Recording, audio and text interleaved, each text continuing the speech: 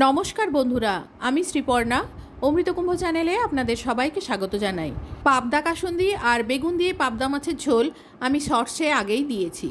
আজকের রেসিপি সর্ষে বাটা দিয়ে পাবদা মাছের গা মাখা ঝাল। আমি এখানে চার পিস পাবদা মাছ নিয়েছি। এগুলোকে আগে নুন, হলুদ দিয়ে ভালো করে মাখিয়ে নিচ্ছি। গ্যাসে একটা কড়াই বসিয়ে তাতে সর্ষের তেলটা গরম করে নিয়ে দুটো করে মাছ ভেজে নিচ্ছি। এক পাশ ভাজা হলে উল্টে দিচ্ছি। এই মাছ কিন্তু খুব সাবধানে ভাজতে হয়। এই মাছের ছাল ফেটে তেল ছিটকাতে পারে। তাই ভাজার সময় সাবধানে ভাজবেন। যখন মাছগুলো সোনালি করে ভাজা হয়ে যাবে, মাছগুলো তুলে একটা বাটিতে রেখে ওই কড়াইতেই দিয়ে দিচ্ছি কালো জিরে ফোড়ন। পাঁচ ছ কোয়া রসুন কুচি করে দিয়ে দিলাম। পাবদা মাছ তৈলাক্ত মাছ, তাই মাছ ভাজার পরে কড়াইতে তেল ছিল, তাই আর তেল দেওয়ার প্রয়োজন হয়নি। রসুনগুলো সোনালি করে ভেজে দিয়ে দিলাম টমেটো কুচি। তেলের মধ্যে নাড়াচাড়া করে টমেটোগুলো খুব হালকা করে ভেজে নেব। এখানে টমেটো গলানোর কোনো প্রয়োজন নেই। নাড়াচাড়া করে যখন এরকম ভাজা হয়ে যাবে, তখন দিয়ে দিচ্ছি এর মধ্যে জল।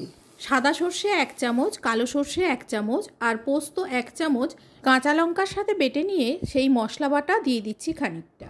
সামান্য পরিমাণ নুন দিলাম। নুন কম কেন দিচ্ছি সেটা পরে বলছি। পরিমাণ মতো হলুদ গুঁড়ো দিয়ে এটাকে মেশাতে থাকব।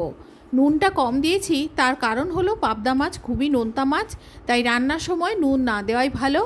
আর সর্ষে বাটা যখন বাটি, তখন এতে নুন দিয়ে বেটেছিলাম।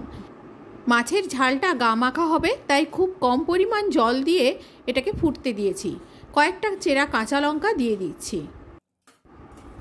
লঙ্কাগুলো দিয়ে মিশিয়ে নিয়ে আরও মিনিটখানেক ফুটিয়ে নেওয়ার পর, ভেজে রাখা মাছগুলো এক এক করে এর মধ্যে দিয়ে দিচ্ছি। এই রান্নায় আমি কোনো লঙ্কা গুঁড়ো ব্যবহার করিনি। আপনারা লঙ্কা গুঁড়ো ব্যবহার করতে চাইলে হলুদ গুঁড়োর সময় লঙ্কা গুঁড়ো দিয়ে দিতে পারেন। আমি পুরো রান্নাটা কাঁচা লঙ্কায় করলাম। যেহেতু মাছের গা মাখা ঝাল করব, তাই অল্প পরিমাণ জল দিয়েছি, আর তাই ফোটানোর সময় কড়াটাকে একাশি করে নিয়ে ফোটাচ্ছি। তবে এটা বেশি সময় ফোটানো যায় না, খুবই নরম মাছ, দশ থেকে পনেরো সেকেন্ড ম্যাক্সিমাম ফোটানো যায়। এরপরে আমি ওপর থেকে ধনে পাতা ছড়িয়ে দিচ্ছি, গ্যাসটা অফ করে দিয়েছি আর পরিবেশন করে দেখাচ্ছি কেমন হয়েছে।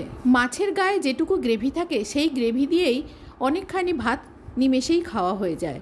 খুবই সুস্বাদু হয় এই ঝাল, একবার এই ঝালটা বানিয়ে দেখবেন। রেসিপিটি কেমন লাগল কমেন্টে জানাতে ভুলবেন না।